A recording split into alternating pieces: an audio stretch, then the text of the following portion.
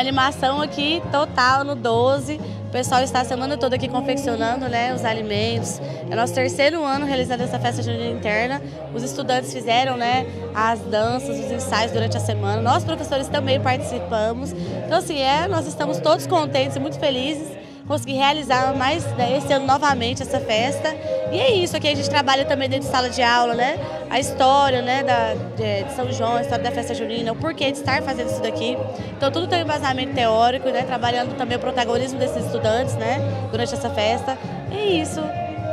E o diferencial da festa de vocês, que é tudo realizado, a preparação por vocês. Sim, tudo. Desde a maçã do amor, caldo, cachorro quente, que mais nós temos? Cri-cri, pipoca, toda né, decoração, toda feita por eles.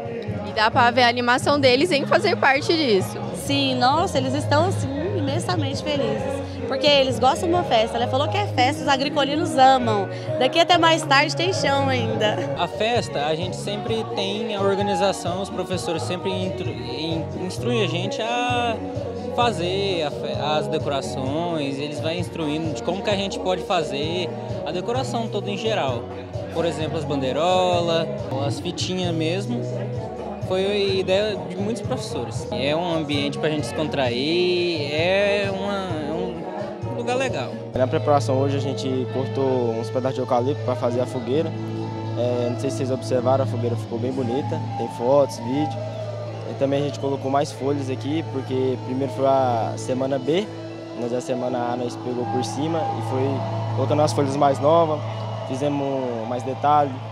É, essa semana nós aproveitou para ensaiar bastante para quadrilha, que vai ficar bem bonita aí. E quais são suas expectativas para essa festa?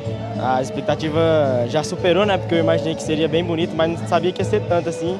Bastante comida, bastante gente diferente, está sendo muito boa. Toda essa, essa festa que está acontecendo é com a doação de tempo né, dos professores, dos servidores da escola, é com doação dos próprios estudantes, dos próprios pais, com algum dos produtos que a gente vende né, na feirinha, acaba que isso é revestido para eles.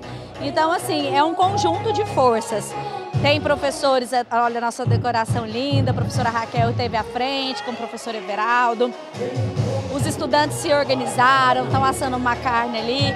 Aqui na escola a gente sempre incentiva o protagonismo do estudante. Então eles dão as ideias, Amanhã eles que limpam toda a bagunça. É bem legal essa parceria da escola, estudantes, família. E a escola agrícola tem um diferencial, né? Que essas festas são internas.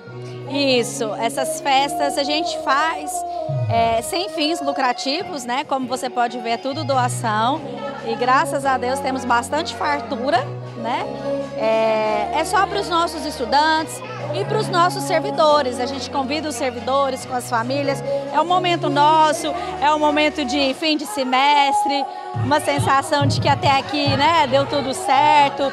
Vamos partir nós, é, professores e os estudantes, vamos sair de férias, descansar e voltar aí em agosto com ânimo renovado.